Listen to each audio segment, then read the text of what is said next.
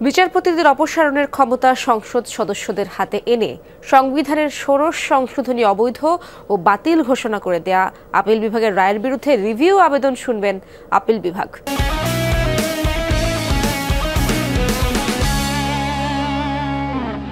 বহুল আলোচিত এই রায়ের বিরুদ্ধে রাষ্ট্রপক্ষের রিভিউ আবেদনের ওপর শুনানি হবে অক্টোবরের শেষ সপ্তাহে। আজ প্রধান বিচারপতি সৈয়দ রেফাত আহমেদের নেতৃত্বে পাঁচ বিচারপতির আপিল বেঞ্চ এই দিন ধার্য করেন। আদালতে রিভিউ আবেদন শুনানির জন্য উপস্থাপন করেন রিটকারী আইনজীবী অ্যাডভোকেট মঞ্জিল মোর্শেদ। তিনি আদালতে বলেন, ষোড়শ সংশোধনীর রিভিউ আবেদনের শুনানি হওয়া প্রয়োজন। এ সময় অ্যাটর্নি জেনারেল মোহাম্মদ আসাদুজ্জামান বলেন, ষোড়শ সংশোধনী রিভিউ বিষয়ে সরকারের দিক নির্দেশনা জানা প্রয়োজন। এই কারণে সময় দরকার, পরে আপিল বিভাগ অবকাশকালীন ছুটির এক সপ্তাহ পর শুনানির দিন ধার্য করেন।